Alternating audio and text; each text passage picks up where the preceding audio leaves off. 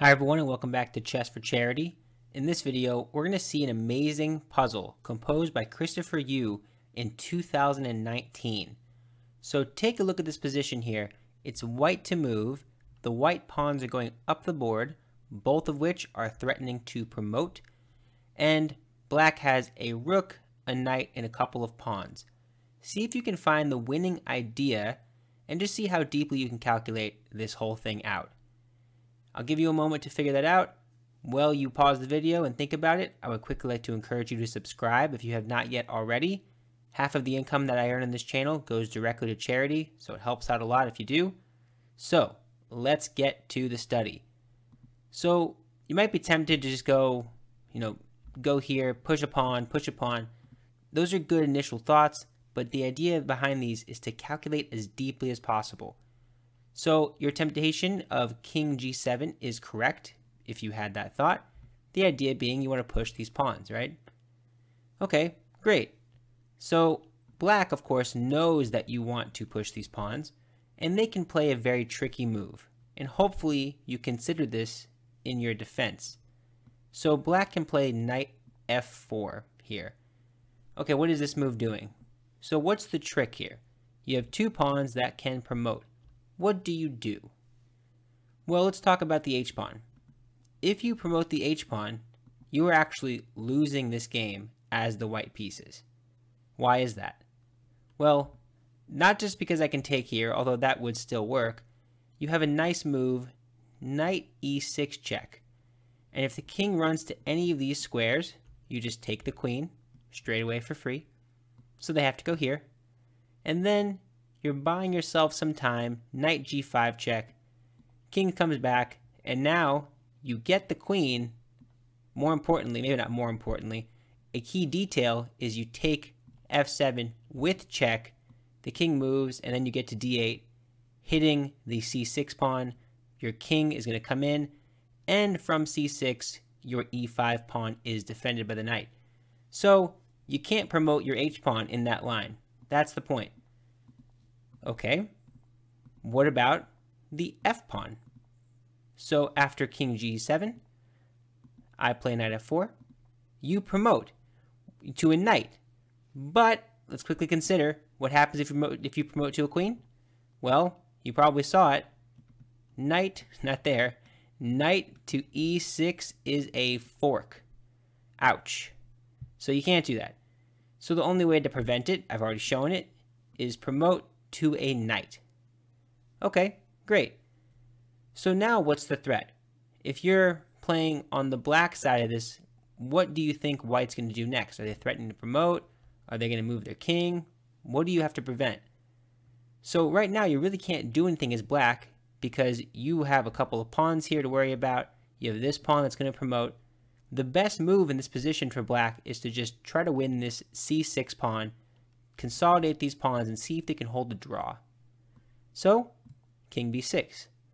And you might say to me, but wait a second, can I just promote this pawn? That's a great thought if you, if you did think that. So take a second and calculate out, after this move, do you see the winning idea, or sorry, the drawing idea for black that can save this loss? So in this position, Rook takes f8. Bang. And what happens here? You take with the queen or you take with the king? Let's say you take with the queen. You get hit with a fork. Ouch. Let's say you take with the king. You get hit with a fork. Ouch. Right? You really don't want to do anything else because, you know, it doesn't make any sense. So, in case you in case you do, let me just make sure I say that. If you want to move the the queen somewhere else, I don't know, anywhere. The computer is saying queen h6. We'll just use that as an example. Rook d8. And this is going to apparently be a draw. Because remember, these pawns are going down the board. Like, oops, look at these arrows. Down the board. So I'm attacking here. Everything's held together. There's no issue here for black to hold. Of course, easy for the engine to say, right?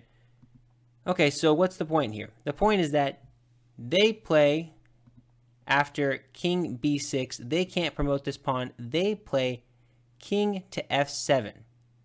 Okay. So now, let's just make sure the point is clear. You have a couple of options here. Maybe you're thinking throw in this check, so if they take, you do this. No, remember, the pawns are going down the board, this way. So just make sure they keep saying that. So a cool move here, and the best move, is knight to e6. So what's the idea here? You're leaving this knight hanging in two different directions. Well, if the king takes, what's going to happen? Well, this now leaves the knight completely unprotected, and this will be a win for black. So it's a tricky move if the person's not paying attention, but of course, they would know not to take with the king. They instead take with the knight. What does that free up? Well, you just gave up a knight for free. Rook h8. That's the idea. I want to get at this pawn. I got to stop this pawn. Maybe I can try to take these pawns with my king and hold a draw. Just maybe. Okay, let's see. King g7. What do you do? As black. So, as black, the best thing you can do is just give up your rook. And now, the puzzle really begins here. And another puzzle. There are so many puzzles in this puzzle.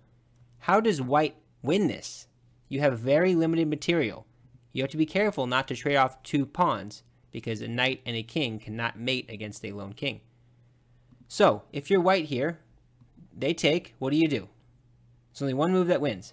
Only one.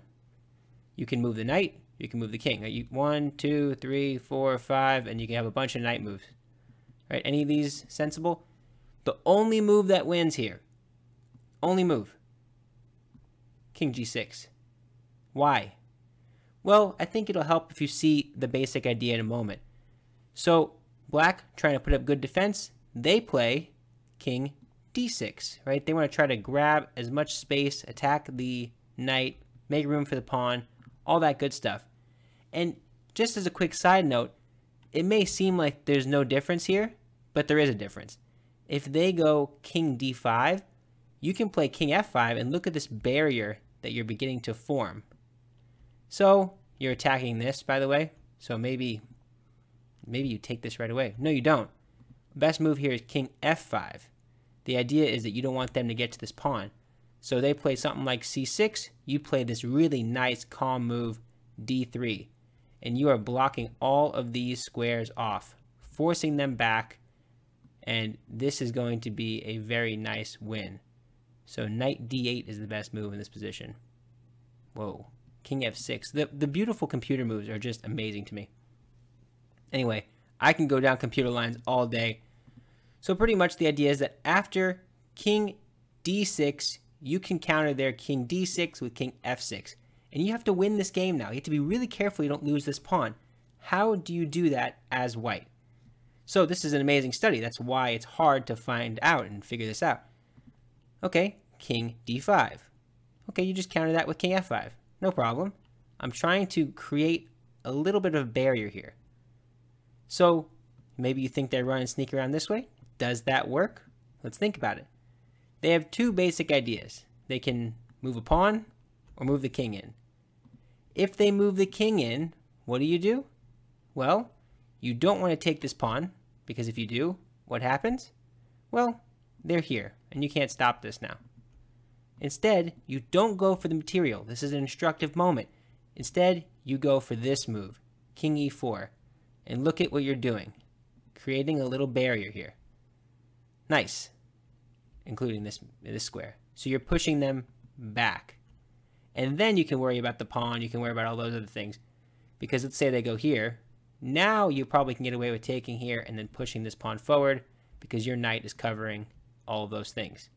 And this is this is correct, yeah. See, like this. And this would not be resulting in anything. You could just take that. That's going to be a win. Very fancy. Okay, so after king e4, what do you play as black? Sorry. After this move, king f5, and then black plays c6, because I was just showing this king move did not work. What do you play? Very similar idea. If you're sticking with me, the very similar idea is d3, and you're making this little barrier here, which means the king is forced back. And now, it just gets even cooler.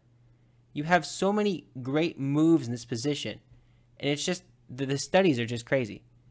So in this position, knight d8, I'm threatening to take this, right? So if you make a move like this, I take this and I win. This is going to be a winning king and pawn ending. Guess who has the opposition? Bang, I do. So, let's go back. Okay. So I play this move. They play pawn to c6. I play d3. Now, like I said, they have a couple of ideas here. In the study itself, I believe the next move was c5. So let's play the move that Christopher intended to keep in the study. c5, and kind of the same idea I was describing a moment ago. You take this with the knight, king takes, king takes, and now this is a winning king pawn ending. And the study concludes right here. That is a winning king pawn ending because you have the opposition. They go somewhere, you just complement them, and then something like this will do. They move here, you move here. This is more than enough. Look at that power. So they have to back up, no stalemates, and you win. That pawn is going to become a queen. But that's it. That's the amazing study from Christopher Yoo. I think it's a fantastic study. Just looking at the whole thing in a faster term, promote to a knight, threaten this promotion, first you move the king.